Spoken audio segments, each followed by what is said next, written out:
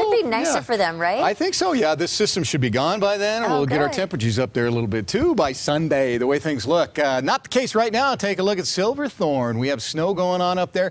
Wet roads there, but from time to time they get a good push of snow coming through that really brings down uh, the conditions for driving. So winter driving conditions will be getting worse uh, through the night tonight. There's a live look, as you saw, of our uh, library camera. If you look real close out here back in the foothills, that's where we're starting to see some rain build up, and that'll be moving into the city later tonight. We're not going to get a good washout or anything like that, but we'll get a few sprinkles going by uh, during the uh, afternoon and evening tonight. Temperatures right now, you could really make out where the front is. If you look up here in Kimball, it's 49, 49 in Cheyenne, 33 in Laramie, 41 in Steamboat, 37 in Craig. That's where the front is right there. Ahead of it, most of the temperatures are in the 60s, like DIA 67, Limon's at 70, it's 70 down to the southeast. So the front is kind of just scooching right across the northern side of the state, and you can see the snow still starting to pile up in the mountains. It is going to get heavier and heavier as we go through the afternoon here. So if you are planning to leave and go into the high country, get a jump on the weekend,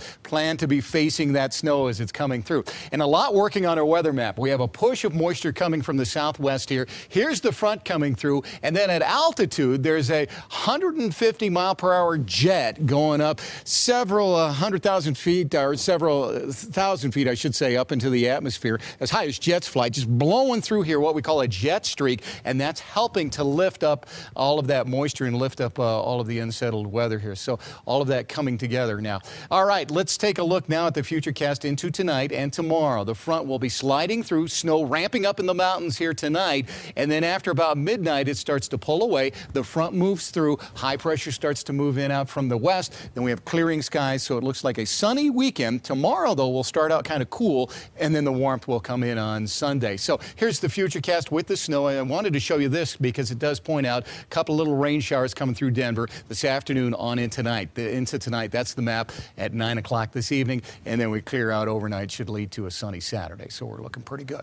High temperatures today before everything happens 60s and 70s here in the east, 40s and 50s in the mountains, and a few 60s popping out there out west. My forecast now up to 30, 40 mile per hour winds still blowing out there. 47 tomorrow, but the sun will be shining. And there's that Bronco Sunday, 60 degrees, sunshine, warm day on Monday at 63, and then about 50 on Tuesday as we turn it down a little colder. So it's going to be windy this afternoon, a few sprinkles here in town, but the snow is really still ramping up in the high country. oh, it's amazing. We need it, though. We've been dry. We have been indeed. Thank you mm-hmm. so much, Dave.